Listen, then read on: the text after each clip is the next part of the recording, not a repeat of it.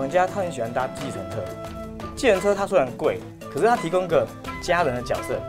计程车他们的角色是，我会负责把你载到医院，对陪你看完整，我再把你带回来。所以我在急诊碰到那个那个计程车司机，他帮他拿尿壶送检体，因为他家里没有人照顾他。讲这些设计概念的时候，如果可以增加更多当地民众的一个他们在意的点的成分，你的钱可能会花得更贴近某些一些照顾族群的需求。你要如何留住医师，就是你要知道医师的问题嘛。第一个就是医师他继续再教育的问题。嗯，第二个刚才有提到过，钱不是很重要，但是没有钱对万万不能没错。薪薪资也是很重要。第三个，他一定是有家庭的问题嘛，太太愿不愿意下来，是不是要在这里住，他孩子的教育问题，这是这四个里面影响最大的。所以我们要针对这个部分来改善，他就留得住了。